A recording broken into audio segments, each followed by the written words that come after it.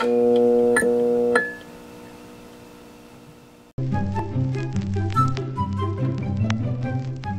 this tutorial, we will show you the benefits of having a battery remote temperature sensor and how to install it. Because of the nature of the batteries and their chemical construction, they tend to lose performance when operating above room temperature.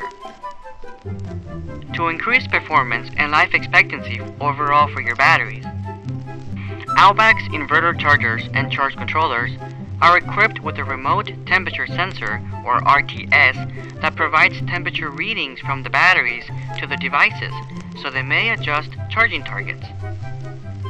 This is done so by increasing the voltage if the batteries are colder or decreasing the charging voltage if the batteries are hotter. When a battery falls outside of its room temperature threshold, OutBack's charger will adjust the charging voltage by 5 millivolts per cell for every degree Celsius above or below 25 C. Whenever you may have multiple OutBack's inverters connected into a communications hub, such as a Radian, Grid Interactive, or FX models, then only one RTS is required to be connected into the device plugged into port 1 of the hub, because it will then share the data to all the other devices in the system. In the exception of the legacy off-grid inverters, such as the sealed FX and vented VFX inverters, then they will each require an RTS.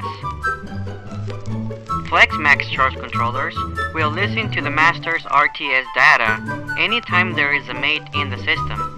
In a case where there's only charge controllers and a mate, then one RTS connected to the controller that's in port 1 will be required.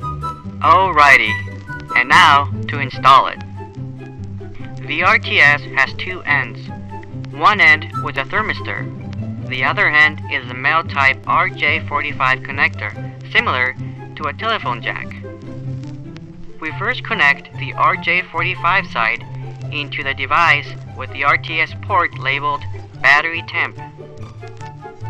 FX inverters have its jack in the AC board next to all the AC wire connections. FlexMax charge controllers have the jack mounted to the left of the PV input connections. Radian inverters have its jack below the ribbon cables and to the right of the auxiliary terminals. The thermistor side of the RTS adheres to a single battery near the center of the bank to achieve a representative temperature. For best results, attach the RTS perpendicular in relation to the battery's plates.